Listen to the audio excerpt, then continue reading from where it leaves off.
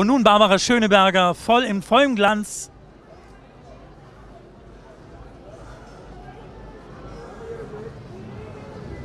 Wunderschön. Frau Schöneberg, wunderschön sind Sie wieder heute anzusehen. Gekonnt.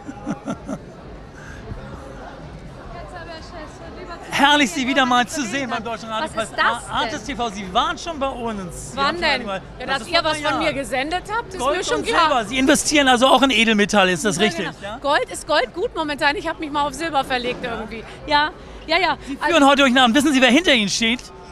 Die Blumen Group. Sind das heute Ihre Co... der hat meine Augen drin. Sind das heute Ihre Co-Moderatoren? Aber nicht abfärben heute. Mal, Kein Küsschen geben. Kein Küsschen. Er hat sogar grüne Augen. Mr. Blumen Group. Na? Die sind lustig. Okay. Selbst als. Ich, super. also ich bin jetzt ein bisschen irritiert. Also heute leiten Sie wieder durch den Arm. Ich glaube, äh, ausnahmsweise heute mal, ne?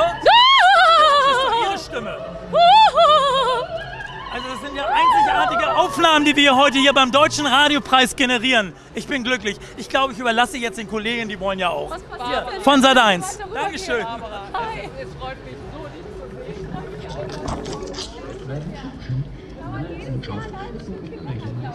sehen.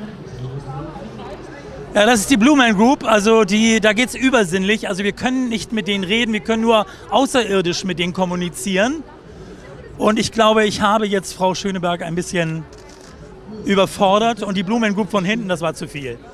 Aber ich will ja auch rücksichtsvoll sein. Also wie gesagt, die anderen Medienvertreter sollen ja auch ihr Glück haben, auch wenn ich vor dem ZDF und vor Sat 1 mal war.